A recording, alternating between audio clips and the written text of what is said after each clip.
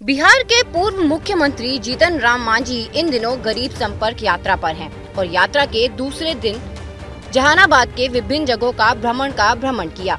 इस दौरान मीडिया से बातचीत में उन्होंने एक बार फिर अपनी ही सरकार को घेरते हुए कहा कि मुख्यमंत्री को उनके ही कुछ पदाधिकारी मुख्य मुद्दे से भटकाने में लगे हुए हैं।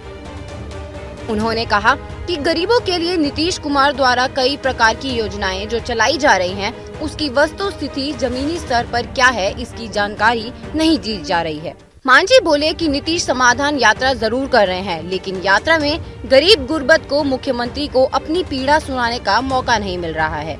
यही कारण है कि हमारी पार्टी के द्वारा गरीब संपर्क यात्रा प्रारंभ की गई है।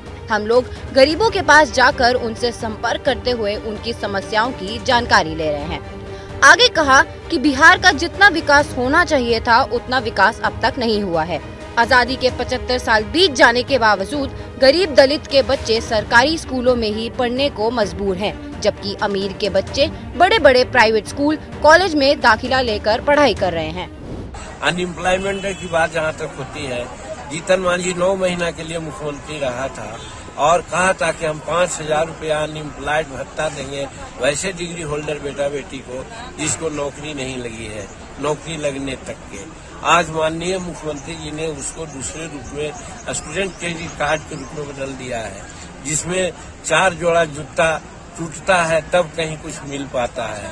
हम ये भी जानना चाहते हैं कि आपको कौन सुविधा है? सब लोग यही कहते हैं कि एकदम मुफ़्त हम लोगों को मिल जाए पैसा तो ज़्यादा अच्छा है।